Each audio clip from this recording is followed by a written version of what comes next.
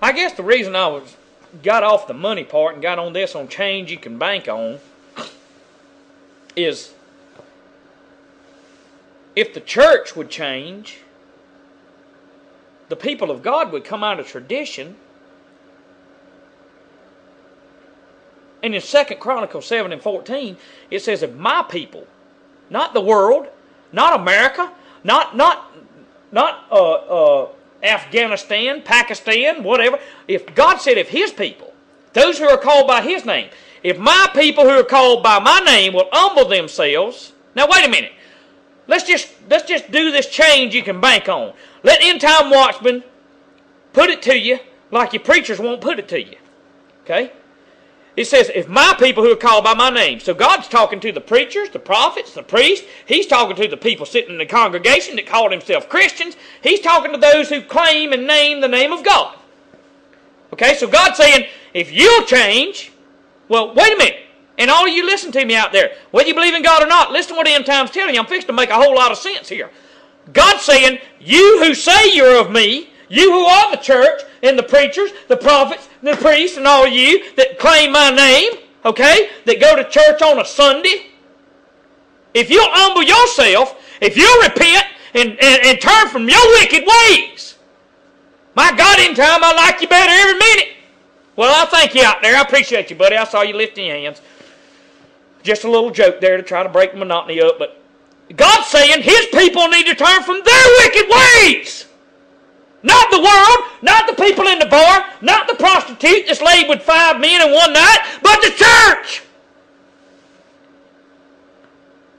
Yeah, I got emails.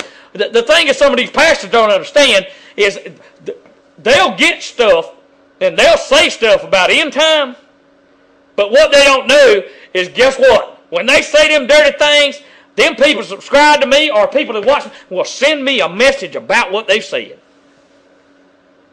Other words, they're being exposed for who they are because they have a spirit of jealousy about them. They have an evil spirit about them, a controlling spirit that don't you get into this territory. We preachers own this territory of preaching the Word of God. Don't you step in here end time and get in our way and make us look like a bunch of fools. Well, I just want to make you be what you are. Just want to back you up in what your life career is. But having said that, in 2 Chronicles 7 and 14, it says, My people who are called by my name humble themselves, seek my face, turn from their wicked ways. God says, I will hear from heaven and I will heal their land. Aha. So obviously, since the abortion is just ramping in up since Roe versus Wade, it ain't changed. Obviously, God ain't heard from heaven to heal the land and put an end to it because His people have not turned from their wicked, adulterous. Uh, uh, when I say adulterous, I don't mean that the preacher screwed another woman. I mean spiritual adultery, whoring after other gods beside God. Like whoring after the government is as if it's God when it ain't. It's a bunch of corrupt friggin' men that half of them, half of them write bad checks, the other half stay drunk, and, and, and, and the rest of them, they just don't give a rat's behind about serving God, but they serve another God, Moloch or some other small g God, but yet you're going to bow to them, and you think by bowing to them, somehow you're going to get the God of Abraham, Isaac, and Jacob. How stupid could that be? I'm just a voice in the wilderness. Am I comparing myself to John the Baptist? No, I'm not. I never said I was. I'm just a voice in the wilderness. I don't have the pretty suit on, okay? I'm not accepted to preach in the churches. Because I'll tell you like it is. And I'll remind you, they had all the nice outfits on the first time Jesus was coming when John the Baptist was preaching in the wilderness. Repent, for the kingdom of God is at hand. There's one coming that I'm not worthy to latch your sandals, John said. I, I, all I'm saying is this He's coming back again. He's already been one time. He's coming back again. And Jesus said, I'm telling you right now, it would be the same way as it was the first time when he came. Listen to me. He also said as it was in the days of Noah. Eating, drinking, marrying, giving into marriage. In other words, they didn't listen to Noah. 120 years. God was preparing him to be inside of an ark that God told him to build. Change that you can bank on is what I'm giving you tonight. They laughed him to scorn. They laughed Noah to scorn.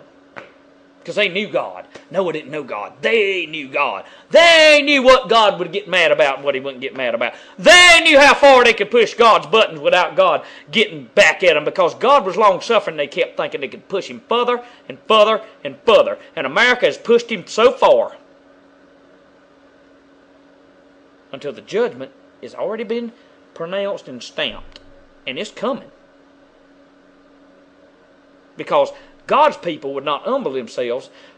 They would not seek his face. They would not turn from their wicked ways. Therefore, God cannot heal a land. They won't turn from their wicked ways.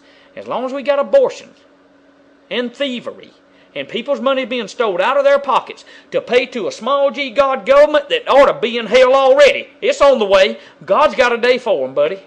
And God's got a day for everyone that supports them. Because they pass laws that are contrary to the Word of God. Oh, yeah. Just totally opposite of God's Word. And yet, we're supposed to bow to that government.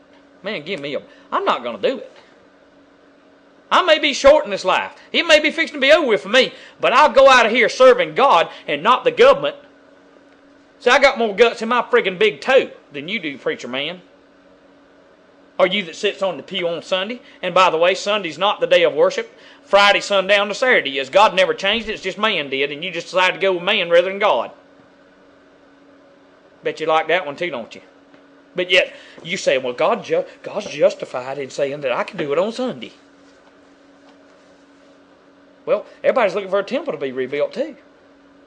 But I got news for you. The Word of God said, God said, I won't dwell in the temple made by hands anymore, but I dwell in the hearts and the minds of the believer. What you going to do with that one? What you going to do with that? See, the church is not the building that they're building, these million dollar places they're building. To make it comfortable, to get the to get the, the temperature within two degrees of what Granny wants it, or in four degrees of what this old man wants is that he's been so daggum hateful since he was 50, now he's 95 and he's still hateful. And he's got to have it just right for him to show up. My God help me. Where have we gone? What has happened? What happened? I'll tell you what's happened. Change that you can bank on has happened. Because we have forsaken God and we have allowed as a nation the principalities and powers of darkness and evil to control the system of America known as the federal government and the local government and the state government and the churches. By and large. Not all of them, but a lot of them are controlled by evil spirits. And, and by the way, I was talking to a good friend of mine today, or tonight. He gave me a shout. And I tell you, I love this man to death. He's a good guy. He really is. He's got a heart of gold that God put in there. God placed in his heart the things that he pronounces out. Is he perfect? No. I, mean, I hadn't known this guy long, but I mean, he's my friend. He's a brother to me. You know, we're talking about things that, that pertain to now and to God and all. And I said, look here, you done messed me up. I was going to talk about this on videos. Now I'm going to have to speak on this and on evil spirits and, and, and the principalities and things. And you know, but I believe God had planned this today for me to talk to Him tonight. And that's why I began with change you can bank on. And that's why end time is bringing it up to a spiritual note. And I want you to hear me. I don't care whether you believe in spirits or not. Listen to me.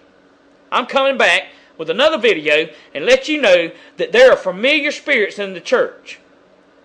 What is a familiar spirit? A familiar spirit is a spirit that seems like it's of God, but it ain't God. That's a familiar spirit. I'm going to come back on the next video and show you change that you can bank on that's in the church today that ain't God. So don't leave me. I'll be right back.